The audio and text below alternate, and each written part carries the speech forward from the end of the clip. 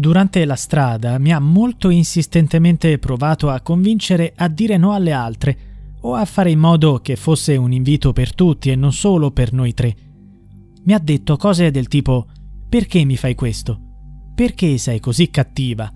Sai che mi fa male quando uscite da sole. Siete già andate a fare colazione due settimane fa. Se la cosa succede davvero, niente sarà più come prima. Così Giulia Cecchettin descriveva alle amiche i messaggi che riceveva dal coetaneo Filippo Turetta, all'epoca suo fidanzato. Niente sarà più come prima, diceva alla sua allora fidanzata Giulia Cecchettin, preannunciando un'oscurità che si sarebbe poi concretizzata. In questo contesto di gelosia e possessività morbosa si è consumato il tragico femminicidio di Giulia, avvenuto il 12 novembre a Vigonovo, Venezia. I messaggi, mostrati durante la trasmissione Chi l'ha visto, sono fondamentali per comprendere meglio il contesto in cui è avvenuto questo terribile delitto. Stremata da queste continue pressioni, Giulia aveva preso la decisione di interrompere la relazione con Filippo. Desiderava vivere la sua libertà, ma il ragazzo non voleva accettare la fine della relazione. Continuava a insistere per incontrarla la vittima aveva confidato alla sua migliore amica, Giulia, di provare timore nei confronti di Filippo. Poco prima del tragico evento si era verificato un episodio inquietante. Filippo e Giulia erano andati insieme in una gelateria. Racconta l'amica.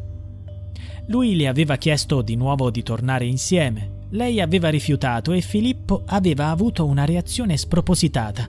Si era alzato e aveva sbattuto le mani sul tavolo, Giulia mi aveva detto per fortuna eravamo in mezzo ad altre persone perché ho avuto paura. Negli ultimi tempi Giulia aveva suggerito a Filippo di consultare uno psicologo. Lui l'aveva ascoltata e aveva già effettuato quattro sedute. La quinta era fissata per il 17 novembre, ma il ragazzo non si era presentato. Cinque giorni prima, il 12 novembre, commise l'omicidio. Chiese a Giulia di incontrarlo e lei acconsentì. Lui la prese in macchina, cenarono insieme, ma dopo il pasto non la riportò a casa. Si fermò in un parcheggio a 150 metri dalla sua abitazione. Forse tornò a chiedere di riappacificarsi. Di fronte al rifiuto di Giulia, estrasse un coltello e la aggredì. Poi ripartì e la portò in una zona ancora più isolata, nell'area industriale di Fossò, dove commise il femminicidio. Oltre alla sua amica Giulia, si confidava con la sorella Elena, ma non le aveva mai menzionato l'episodio della gelateria. Racconta Elena. Anche se lui fosse stato violento, probabilmente non me lo avrebbe raccontato per paura di deludermi. Giulia non era più una ragazza libera. Stava vivendo un periodo infernale. Le chiesi con chi sarebbe uscita e quando mi disse che ci andava con Filippo io non ero tranquilla. Pensavo che sarebbe stata l'ennesima occasione di litigare, perché ultimamente quando si vedevano litigavano sempre. Io ero particolarmente ostile nei confronti di Filippo. Non ero tranquilla. Sia quando parlavo di lui che quando parlavo con lui mi facevo valere. Non lo sopportavo. Forse per questo Giulia si era un po' chiusa. Non mi aveva mai detto che aveva paura di lui. Elena è devastata dal dolore. Desidera ardentemente che nessun altro debba mai vivere il calvario che sta affrontando. Continua così. Pensare a tutte le possibilità che sono state tolte a Giulia, a tutte le cose che non potrà più fare. Filippo l'ha uccisa, ma prima ancora la controllava, le metteva pressioni, lei non era libera di vivere la sua vita.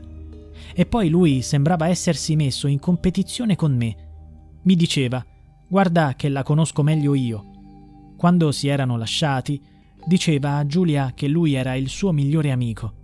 Giulia aveva commentato incredula È una cosa che ha deciso lui, per me non è il mio migliore amico, lui è il mio ex fidanzato.